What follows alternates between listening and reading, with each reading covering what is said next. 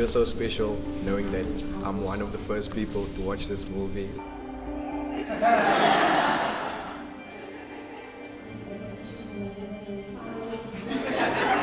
I think that this film was wonderful because I related to it on a lot of parts because of my background is very mixed and I have a white father and a colored mother and I'm black. So it was always, life was always not knowing how I fit in more to this side, to that side. And it showed that um, we are not just the color of our skin and it showed that we should all treat each other equal and not stereotype against each other. And i loved how it wasn't sugar coated how it was raw and how it was actually being acted how it is actually in school and our everyday lives and what we go through every day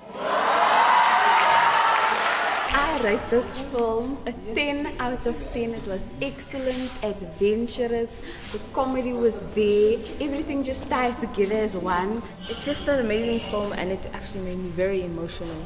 And how I saw all of the characters, I also saw myself there in those characters and it's so realistic how they they put everything that all of the children in the school in the high schools are going through into a film and I think that's really creative and cool. Train number 0745 has been cancelled.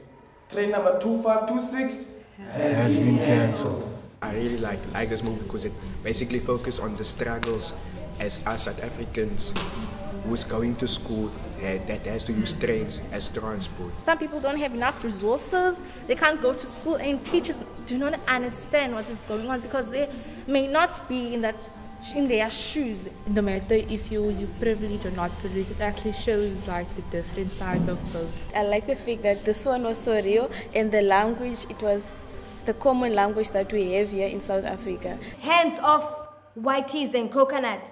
He's mine. Eh, Bukelwa. That's my name. When say my name. Bukelwa.